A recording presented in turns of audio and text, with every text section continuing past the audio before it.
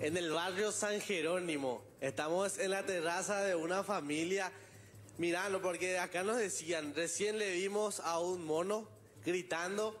Inclusive tuvieron que suspender el asado acá en la terraza. Imagínense un domingo tan lindo eh, donde podés sacar acá tu parrilla en la terraza. Y obviamente por el miedo a que llegue ese mono, tuvieron que suspender totalmente el asado. Acá me encuentro ya con la familia, estamos en la terraza de la familia Oviedo Rivas, que recién vieron al mono. Inclusive se está paseando. Allá también vemos unos cuantos vecinos que están como mironeando un poquitito a ver si se muestra nuevamente. Señora, recién pasó por acá ese mono. Estaba hace unos minutos, unos minutos y algo más. Antes del almuerzo precisamente le estábamos viendo, ¿verdad? Y por el miedo antes de sacar la parrilla tuvimos que entrar y desistir de nuestro almuerzo tradicional y estamos esperando a que ver si, si se quedó dormido o se enojó con nosotros porque no le invitamos al almuerzo. Ahora, y Leila, cuando llegamos escuchamos ese grito, grita muy fuerte, ¿eh? eh el, el monito. Bueno, Ana, para decir bonito, no tampoco, porque es en serio por dos videos que nos estaba mostrando acá la señora, es bastante enorme este, este mono. Que vamos a acercarnos también con otra señora que pudo presenciar, doña Ramona, eh, inclusive fue una de las que vio, entonces se alertó y rápidamente ya a Lomita, ya le metiste en su casa. Ah, ya le metí en la pieza porque me dijeron lo de es peligroso. Entonces yo le dije al grande, mira, ya le llevé a mi nieto y me fui hacia adentro. Pero quedó ahí. Estoy, va a venir otra vez en un momento. Mati. Acá hay una amiguita, ella dice que es la amiguita del mono. No, vos sos la amiguita del mono. No, pero yo sé que le vi allá cuando mi papá se subió, le vimos que estaba allá con una cola larga hacia este lado. ¿Tenía hambre? No, yo no creo, pero le vimos hacia este lado.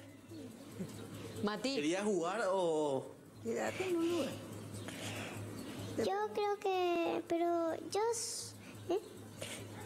Tenía hambre. Yo creo que tenía hambre. Puede ser que tenga hambre. Mati. Ahora te escucho. Eh, es un carayá, según lo describen. Es un carayá, se trata de un carayá. Exactamente, es un, es un carayá. Creo que también, o sea, más específico sería un mono aullador.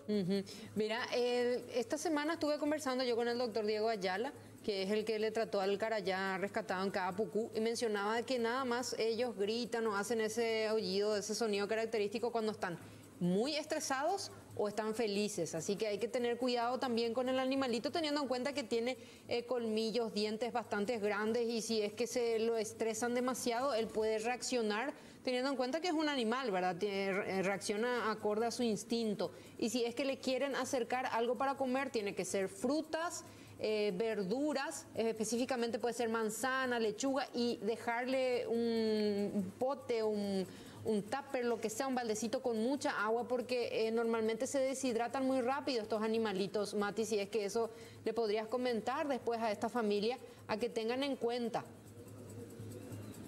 Claro, inclusive pueden estar cansados porque sinceramente se los, se los vio, se dice que son dos. Algunos comentan que son eh, dos carayá.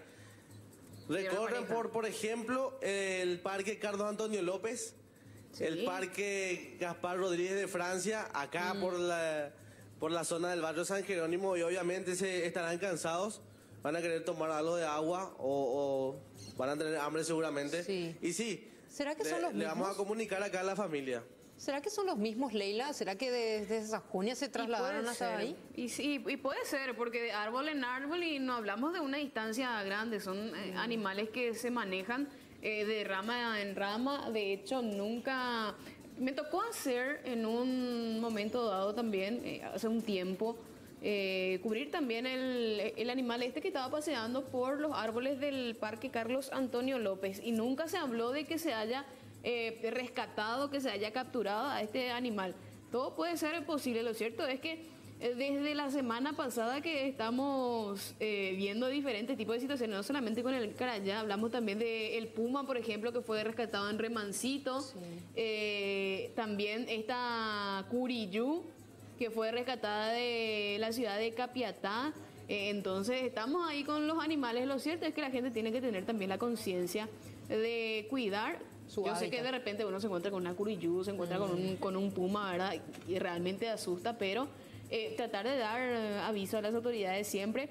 Y yo creo que el aullido de este Carayá. Carayá en esta ocasión habrá sido por la alegría de, de ver el asado que estaba preparando ahí la, la familia Mati.